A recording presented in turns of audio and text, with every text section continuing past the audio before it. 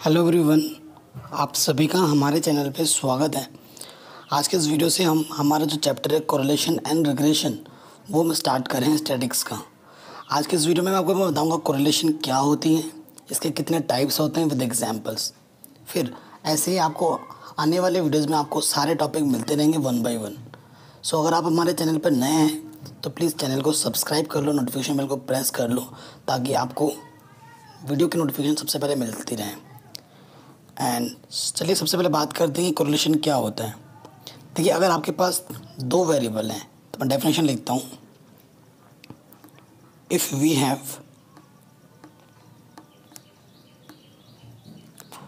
two variables अगर हमारे पास दो वेरिएबल हैं सपोज़ वो क्या कर लेते हैं X and Y X and Y ठीक है? एंड द ऑब्जर्वेशन जो और उसका जो ऑब्जर्वेशन होगा. And the observation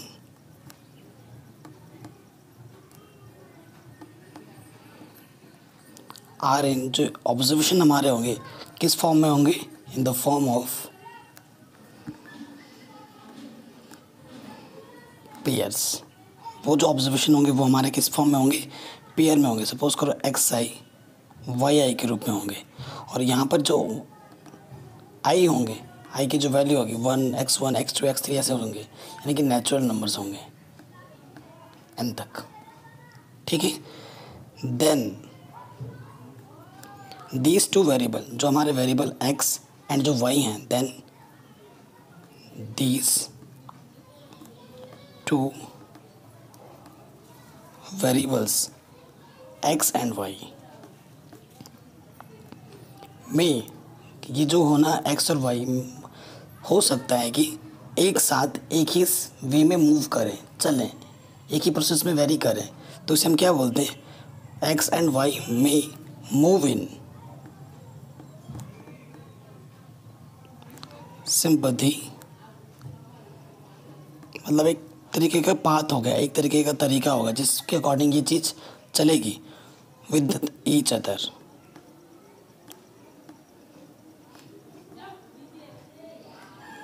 ठीक है? और ये जो प्रोसेस होता है द फेनोमिनन जी जो प्रोसेस होता है, उसको हम बोलते हैं कोरिलेशन फिर यहाँ से आप लिख देना the phenomenon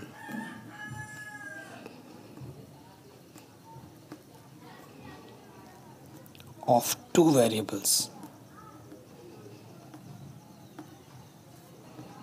moving in sympathy मतलब जिसके अकॉर्डिंग ये चलती है घूम फिरती है। Sympathy with each other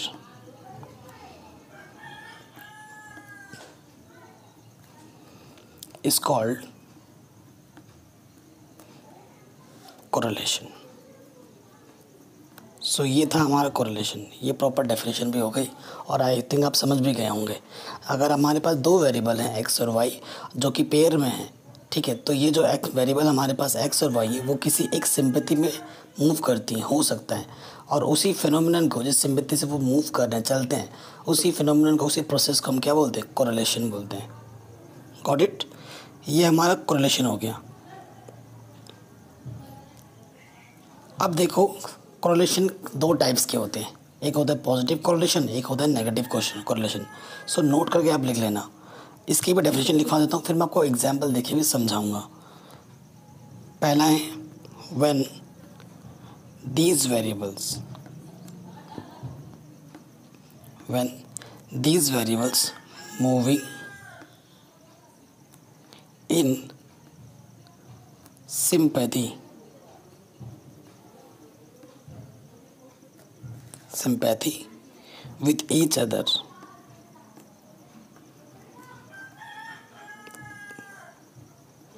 in same direction मतलब एक ही दिखा, एक ही दिशा में सेम डायरेक्शन तो इसे हम बोलते हैं पॉजिटिव जब सेम डायरेक्शन में होगा तो पॉजिटिव होगा, और जब अपोजिट डायरेक्शन में होगा तो नेगेटिव होगा. Is called positive sorry correlation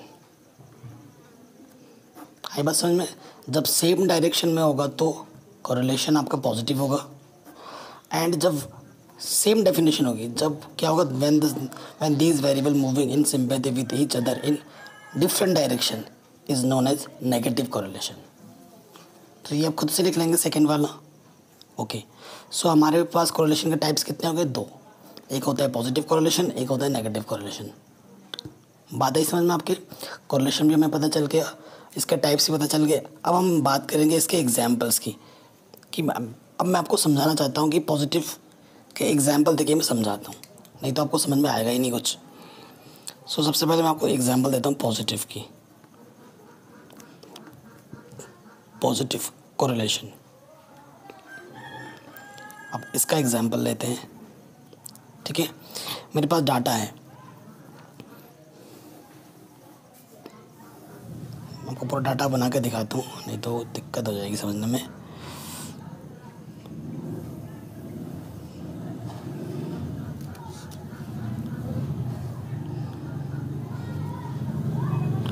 ठीक है, यहाँ मैं क्या कर रहा हूँ? Increasing increase in both variables और यहाँ मैं लिखता हूँ डिक्रीज इन बोथ वेरिएबल्स ठीक है? सही ये हमारा एक्स है, ये हमारा वाई है। अब मैं सिंपैथी का मीनिंग क्या वो आपको ढंग से समझा रहा हूँ। ये मैं लिख रहा हूँ पाँच, दस, पंद्रह, बीस, चार लिखे ही बहुत है। और मैं यहाँ लिख रहा हूँ तीन, पाँच, सात, दस, ऐसे लिख दिया मैंने।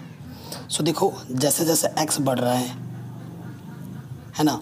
उसी के अनुरूप हमारा क्या बढ़ रहा है? वाई भी बढ़ रहा है। यानी कि दोनों सेम रूप्स दोनों बढ़ रहे हैं। दोनों का नेचर सेम है सेम डायरेक्शन है। ये भी बढ़ रहा है, ये भी बढ़ रहा है। तो जब सेम डायरेक्शन में चलती है कोई चीज़ तो वो क्या होती है? पॉजिटिव कोरिलेशन और अब मैं फिर से आपको दिखाता हूँ। अब क्या है? अब मैं घटाते हुए दिखाता हूँ। मैंने लिख दिया यहाँ पचास, यहाँ चालीस, यहाँ तीस और यहाँ बीस और यहाँ पाँच। ये नहीं कि सेम डिफरेंस हो डिफरेंस सेम नहीं हो सकता ये कोई ज़रूरी चीज़ नहीं है। और मैंने वाई भी उसी रूप में लिख रहा हूँ यहाँ मैंने लिख दिया पंद्रह यहाँ लिख दिया मैंने तेरह यहाँ लिख दिया मैंने आठ यहाँ लिख दिया मैंने पाँच यहाँ लिख दिया मैंने एक।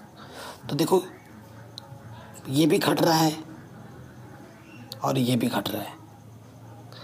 तो, तो सेम चीज़ में अगर दोनों वेरिएबल का जो सिंपैथी है जो नेचर है सेम होता है ये भी घट रहा है तो ये भी घट रहा है। सॉरी, ये भी बढ़ रहा है तो ये भी बढ़ रहा है, और ये भी घट रहा है तो ये भी घट रहा है। इसमें क्या हो रहा था? डिक्रीज और इसमें क्या हो रहा था? इंक्रीज सो नेचर सेम था। सो ये कोरिलेशन क्या कहलाएगा? पॉजिटिव कोरिलेशन कहलाएगा। ठीक है? इसके अपोजिट मैं टाइ टाइप्स की तो बात कर चुका हूँ। अब मैं एग्जांपल देता हूँ नेगेटिव कोरिलेशन का।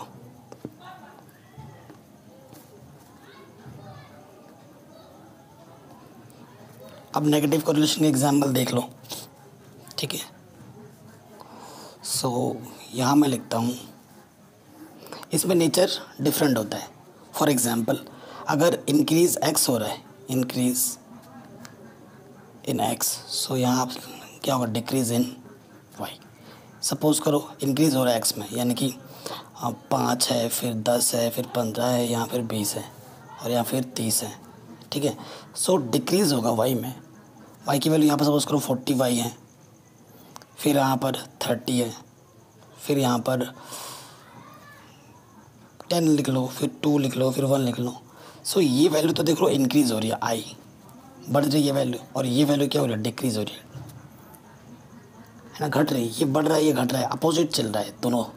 सो ऐसे कोरिलेशन को हम क्या बोलेंगे? नेगेटिव कोरिलेशन ठीक है? आया समझ में?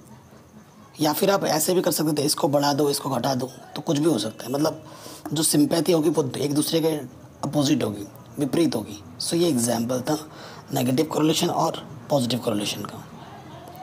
ठीक है?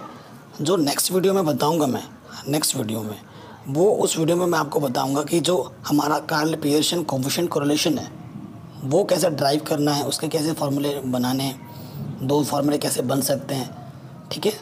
और उसकी क्या प्रॉपर्टीज़ हैं वो कराऊँगा। और आने वाले वीडियोज़ में प्रॉब्लम भी हम डिस्कस करते रहेंगे जो एग्ज़ाम में बार बार पूछे जाते हैं। सो so, वीडियो अच्छी लगी हो तो लाइक कर दो शेयर कर दो। अपने दोस्तों के साथ चैनल पर नए हो तो सब्सक्राइब कर लो यार।